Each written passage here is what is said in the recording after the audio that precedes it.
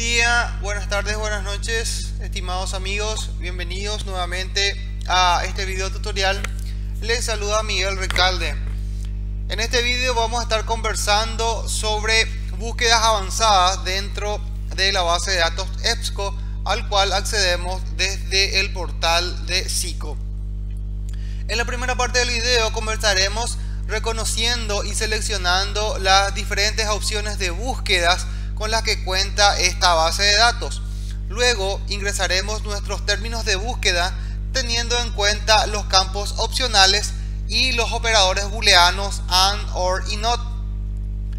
Luego con los resultados obtenidos los vamos a ir depurando utilizando los limitadores y filtraremos nuestra búsqueda ya sea por año, por tipos de fuentes, por materias, por publicación, por editorial y por idiomas. Luego veremos cómo descargar un artículo científico desde esta base de datos. También veremos cómo añadir nuestro artículo a nuestra carpeta personal que está relacionado con nuestra cuenta de usuarios. Y por último, conversaremos sobre las diferentes herramientas que nos ofrece esta base de datos, como ser citar, exportar a Google Drive, enlace permanente, que realmente nos va a ayudar para poder gestionar eh, nuestros artículos. A continuación entonces vamos a ver cómo podemos conseguir esto. Bien, eh, una vez que nosotros ya eh, hayamos ingresado dentro de EBSCO, eh, podemos realizar una, una, búsqueda, en este caso, avanzada dentro de, dentro de esta base de datos. Acuérdense de que acá en opciones de búsqueda, antes de realizar mi búsqueda en sí, yo puedo ya, en este caso, definir algunos criterios eh, que van a ser tenidos en cuenta en el momento en el cual se va a recuperar estos datos. Por ejemplo, puedo buscar a texto completo, puedo buscar desde una fecha en específica, em, puedo buscar por tipo de vista rápida de imágenes, puedo usar otros tipos de limitadores, eh, si quiero solamente abstract, si quiero artículos, eh, si quiero autobiografía. Fíjense que acá tengo un montón de opciones disponibles em, para poder realizar mi búsqueda. Una vez que eh, tenga definido estos filtros acá, directamente yo me puedo ir acá donde dice búsqueda avanzada, ¿sí? Y esta búsqueda avanzada lo que me permite en este caso es eh, trabajar mejor con, mis términos de búsqueda. En este caso eh, voy a estar trabajando con mi búsqueda acá. Fíjense que eh, ah, en comparación con lo que era la búsqueda básica ahora tenemos más opciones acá. Inclusive podemos ir con esta opción podemos ir agregando más opciones acá acá tenemos eh, eh, una lista de campos opcionales donde nosotros podemos decirle si queremos buscar por texto completo, por autor, por título, por descripciones, por fuente, por ISBN, ¿ok?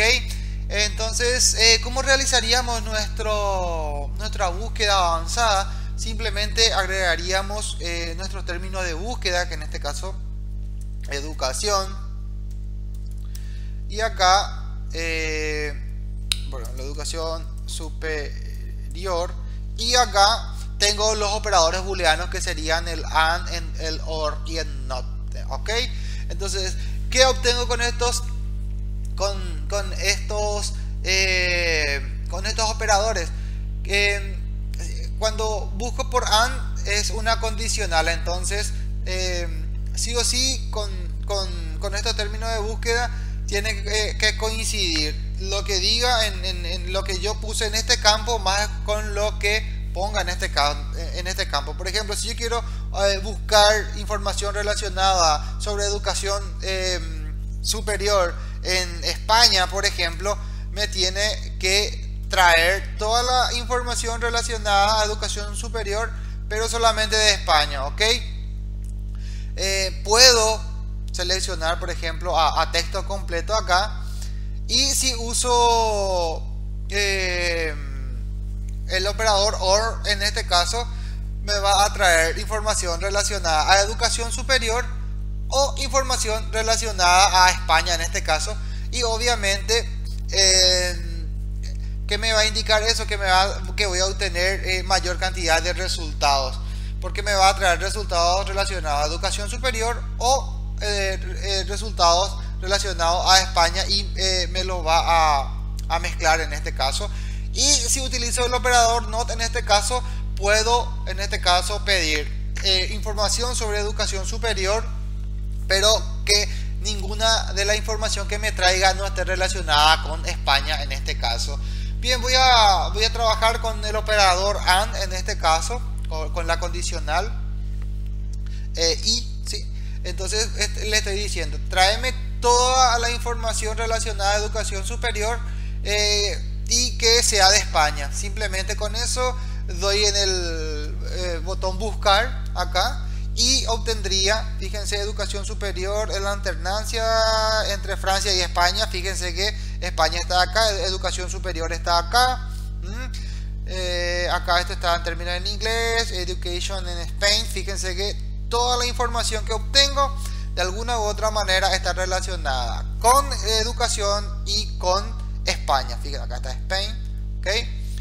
Una vez que tengo estos resultados, eh, yo lo puedo ir acotando. Fíjense que acá tengo 537 resultados. Le puedo decir que, quiero solamente a texto completo. Vamos a ver, esto tiene que disminuir. Acá tengo 513 ahora. ¿Ok? Pedir información desde el 2012, 13, 2013, de los últimos 5 años 2013 hasta el 2018. Fíjense que estoy en 513, ahora estoy en 406. Voy acotando mi término en este caso y obviamente voy acotando mi, mi, cantidad de resultados. Eh, con publicaciones arbitradas, vamos a ver, de 406, ahora obtengo 398 resultados. Fíjense que acá también podemos ir eh, pidiendo por materia eh, la parte de learning ok ahí está. Fíjense que ahora solamente tengo 18 resultados. Y acá tengo un montón de opciones más eh, disponibles acá me está indicando eh, a qué materias corresponde y la cantidad de artículos relacionados bien una vez que acá tengo 16 artículos en español y dos artículos en inglés puedo acá obviamente voy a tener 16 resultados acá arriba, fíjense. Y una vez que tengo esto, entonces eh, simplemente tendría que entrar a, a, descargar esta información. Obviamente tengo que leer el resumen y si es que me interesa, entonces eh, descargarlo. Bien, la otra manera de, de, descargar esto sería eh, dando clic acá directamente sobre sobre este enlace, ¿sí? Eh, si de repente quiero, quiero ver información relacionada a, esto, fíjense que acá me da eh, toda la información, me dice quiénes son los autores, dónde está la fuente, la fecha, el tipo de publicación, el texto completo en, PDF. Si quiero añadir a mi carpeta personal, fíjense que acá arriba yo tengo mi, mi carpeta personal, entonces desde este punto lo puedo agregar o simplemente lo puedo agregar desde acá.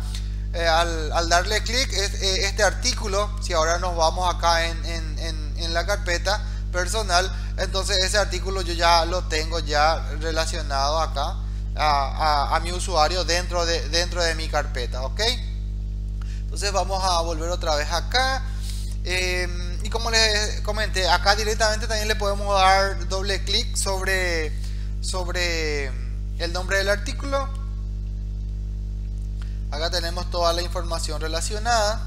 Vamos a mirar algunos ejemplos. Si quiero descargar el texto completo, simplemente le doy acá para, para descargar. Pero acá también contamos con otras herramientas muy interesantes. Por ejemplo, acá eh, cuento con la herramienta de Google Drive. Entonces puedo enviar este artículo directamente a, mi cuenta de, del Drive. Puedo eliminar de la carpeta ese artículo que yo agregué hace un rato. Puedo imprimir esto de acá. Puedo Puedo enviar también este artículo, fíjense que puedo enviar por, por correo esto. Puedo guardar esto, este artículo, puedo guardar esto en, eh, sin, ningún inconveniente. Inclusive eh, acá me, da la opción de guardar en, utilizando la norma APA, por ejemplo, o el Harvard o el MLA. Esto lo puedo ir guardando acá sin ningún inconveniente. También puedo irme acá directamente a citas si necesito la referencia bibliográfica. Entonces me iría acá en citas. Fíjense que si estoy trabajando, por ejemplo, con el estilo AMA o si estoy trabajando con el estilo APA, directamente podría copiar esto que está acá y eh, con control C lo copio y lo podría pegar directamente en, mis referencias bibliográficas. También esto lo, puedo exportar sin ningún inconveniente. Fíjense que eh, esta era mi primera opción en la configuración, entonces puedo exportar esto, lo, guardo, esto me lo, va a descargar en un archivo y después con la referencia bibliográfica que estoy utilizando, por ejemplo si estoy trabajando con un gestor de referencias bibliográficas tipo Sotero, importaría este, este archivo que, que, que puedo descargar desde acá y ya tendría toda mi referencia bibliográfica para poder manejarlo desde allí puedo crear notas sobre ella, puedo crear enlaces permanentes, puedo compartir este artículo. Entonces tengo eh, un montón de opciones disponibles acá. Si este artículo, en este caso, eh, estuviese tanto en, formato PDF como en, en formato HTML, em, si está en formato HTML yo lo podía traducir tranquilamente al, inglés sin ningún inconveniente, cosa que no puedo conseguir si el artículo está en, PDF. Bien amigos, ahora eh, lo único que nos queda es descargar este artículo, esto ya lo vimos, son los mismos pasos que vimos en, el video anterior, en la búsqueda básica, simplemente seleccionamos el PDF, eh, le damos en descargar, y, eh, acuérdense que ya tengo una carpeta creada, le damos el, un nombre, le damos guardar y con eso ya tenemos nuestro artículo descargado, en este caso en, en nuestra computadora. Bien amigos, esto fue lo que quise compartir con ustedes. Espero que eh, este video les pueda ayudar con su búsqueda avanzada y eh, nos vemos en el próximo video. Hasta luego.